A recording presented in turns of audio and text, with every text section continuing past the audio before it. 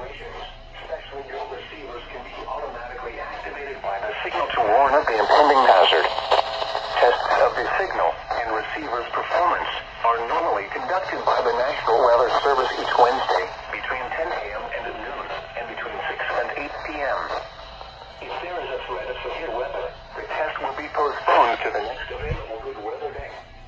This section of this broadcast Everyone. Um, and. Just one thing.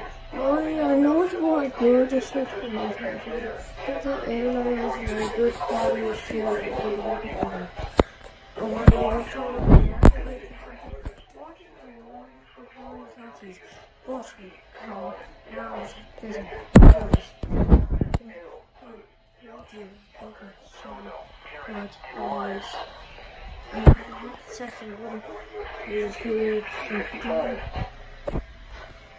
one, two, three. The current I forgot what test this is. It's like 92, I think.